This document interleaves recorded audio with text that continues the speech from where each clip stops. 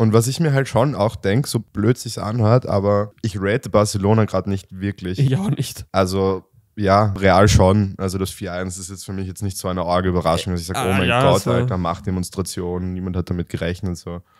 Naja, es kann ja eine Machtdemonstration sein, auch mit der man rechnet. Ja, eh, aber ich meine, es ist jetzt kein 8 zu 2 gegen Barcelona gewesen. Das Es war ist es kein ein- 8 zu 2, aber das war auch eine Machtdemonstration, mit der man so nicht gerechnet hat. Das stimmt. So gesehen war das nicht unbedingt ein gutes Beispiel. Ähm, aber ich verstehe, dass man es als Bayern-Fan immer wieder aufbringen will.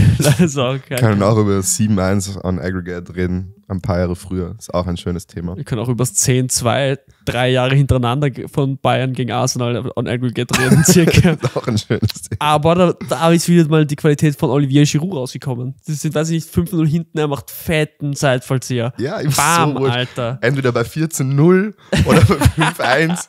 er macht immer Banger. Unwichtige Tore. aber. Ja, aber die zieht er halt richtig Die zieht durch. er richtig durch. Deshalb schon- Chef, Alter. Ja, Giroud schon God Potential. Ja, Alter, wenn Giroud retired, müssen wir eine Special-Folge einfach nur über ihn machen. Auf alle Fälle.